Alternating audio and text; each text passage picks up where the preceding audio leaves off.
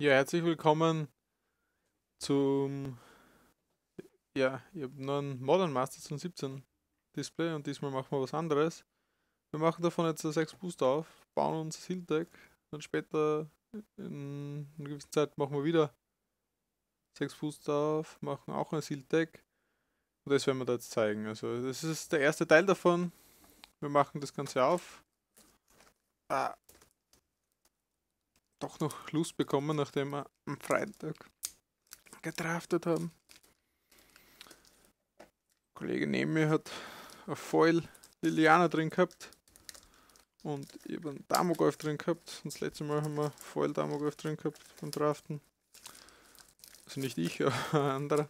Und von daher, ja, brauchen wir uns nicht zu viel erwarten. Ich glaube, das ist eher der Display aus der gleichen Reihe. Außer, außer es ist noch einmal so mittiger drin, aber ich glaube ja nicht. Das ist vielleicht eher einer der schlechteren. Ja, trotzdem haben wir noch einen 1, 2, 3. Wir nehmen von jedem der Domri 3. Ja, zwei von jedem. Zwei Domris, zweimal der Engel und zweimal der oh, äh, Grüsselbrand. So, das andere stellen wir weg. Können wir daneben hinstellen, dann sieht man es ein bisschen. So, okay, also wir fangen an. Wir haben sechs Booster und da bauen wir uns dann ein Siltag draus. Ich werde dann die schneiden, was ich da als Deck gebaut habe. Und als erstes gehen wir mal die Foils durch, gleich am Beginn. So. Und das ist hinten. Na, wie machen wir das? Zentaur-Token. Foil ist Vampire Aristokrat. Schwarze Karte. Schon ganz gut zum Spielen zumindest. Die Rare ist Avenza. Shaper Savant. So, dann kommen wir zur Vital Splicer als ankommen. Und Gruul Warchant. Die letzte ist Ab Bronze Bake More, den finde ich ziemlich cool. Den Token Deck spiele ich dann gern. Ich mag die Token Decks. Ja, was haben wir sonst an Karten? Spike Chester ist schon eine Karte. Dann haben wir hier einen Arachonus Web. Ja, der geht halt schnell durch. Nur, dass die Leute sehen, was dann zum Bauen ist. So. Rewind. Golgari. Guildgate. Das ist mein Problem ein bisschen im Draft, dass ich die Guildgates nicht hoch genug picke. Deswegen ist mir da fast das Hield lieber. Weil da habe ich es dann einfach und die drei man kann man ja zwei gute für Token Tag und der Tekken Glitches you control have was was Movement Menace vielleicht auch ganz okay in einem Mute Deck äh, in einem Naya Deck so nächster Tomirade Booster ah.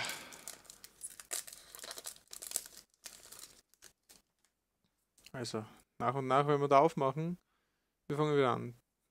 Ein Elemental Token für die Voice, das ist schon ganz cool. Ein Golgari Guild Get Foil. Und die Rare ist ah, Balis Collar, ganz gut beim Spielen wahrscheinlich. So, dann Katari Bomber, Falken Radnobel, der ist ziemlich gut. Der Death Hood Cobra ist auch gut. Tower in 4 ist nicht so recht. Bitfall Trap. Der August auf Ballers, unser zweiter hier. Giant Baiting. Noch ein Guild Kit. Battle Rattler Shaman. Lone Missionary. Dann haben wir das Kriegsisland, Arachnus-Spinner, zweite angekommen. Dritte ist Tower Gargoyle. Ziemlich nette ankommen schon.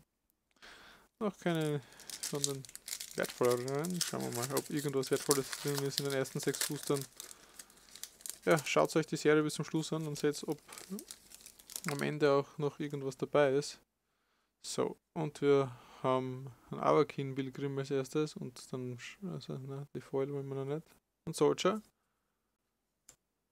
Foil ist Spike Chester, das ist der, genau der 3-1-Eingreifer, den wir schon im anderen ist ganz vorne drin gehabt haben. Und wir haben ein Call of the Herd, also die Rares sind alle bescheiden bis jetzt. Ja, was macht die Call of the Herd? Für Dockendeck ist sie super. Für 3 macht es 3-3 ja, und mit Flashback für 4. Dann haben wir den Pilgrim, der ganz super ist. Äh, Orsov Guild geht. Noch ein Cobra. Ja, der Morgen Beetle. Und da bekommen wir schon ein bisschen Idee jetzt da, wo wir ein paar einige coole Karten haben. Deswegen geht da jetzt eben auch alles durch. Ach, Guild geht, ähm, der ist auch ganz gut. Jetzt haben wir schon bei den Uncommons. Wieder einer mit Tokens. Uh, der ist auch gut für Token-Deck. Ich baue ja sogar ein Token-Decks. Und ein Endtomber extra. Ja. Ist jetzt wäre durchaus legitimer Token-Deck. So, schauen wir mal. Goblin Electromancer. Schauen wir, der ist auch ganz gut.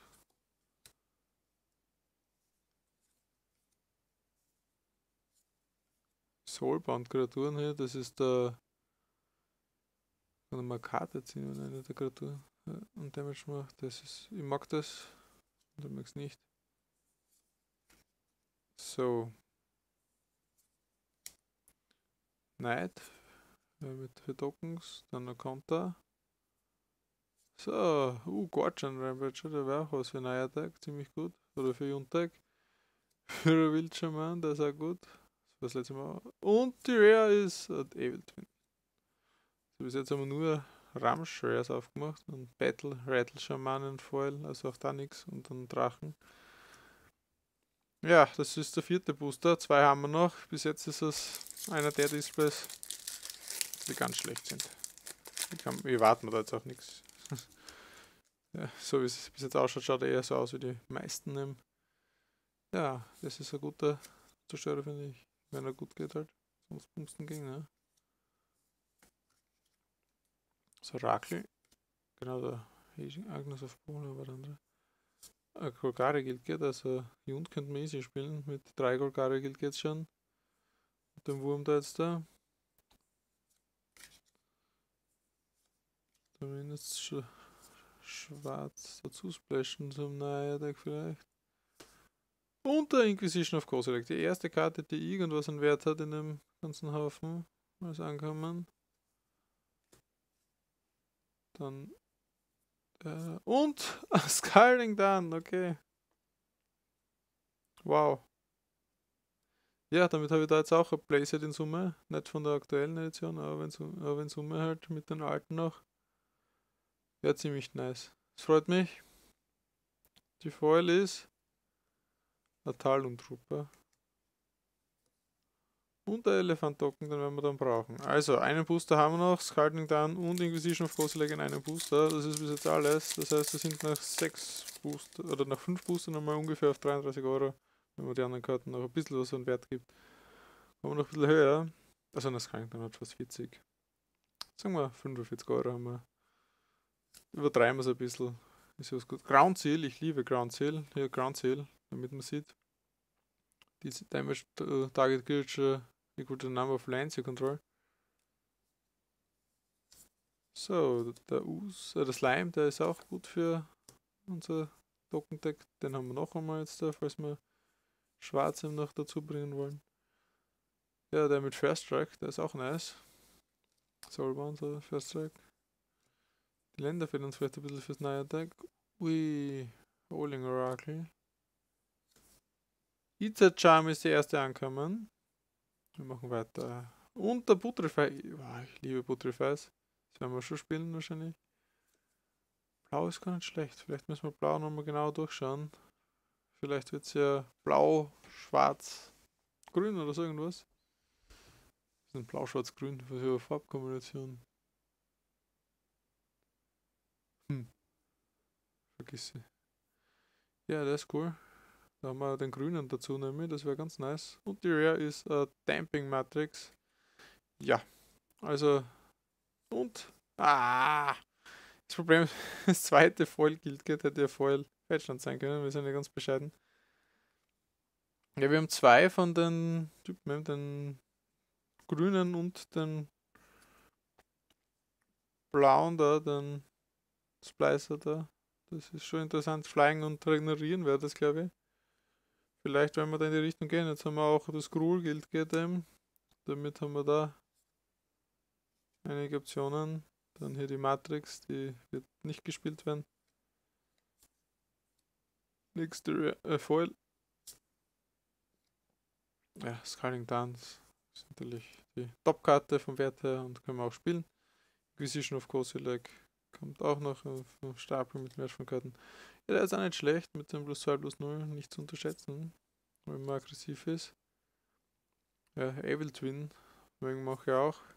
Und wenn wir in den Farm sind, könnte man spielen. Ja, Call of the Earth. Spike Chester. Der Basilisk Caller mit Lifelink Death Touch. Das werden wir auch spielen. Dann ist Golgari Guild geht eben hier das Elemental Token, der noch ein bisschen was ist. Und dann Venser, also wenn wir da in die Farm gehen, dann können wir auch spielen. Also so vom schnellen drüber schauen wäre das durchaus eine Farbkombination, alleine von den Rares her. Könnte man Venser spielen, Basilisk spielen, Call of the Heart spielen, Evil Twin spielen, Inquisition spielen, Scanning dann spielen. Könnte man alle unsere besseren Karten spielen. Ja, das sind die Rares und das Inquisition of Kozilek. Ja, es wird spannend werden, was wir da als Deck bauen. Ich werde es dann im zweiten Teil anfügen. Bis später.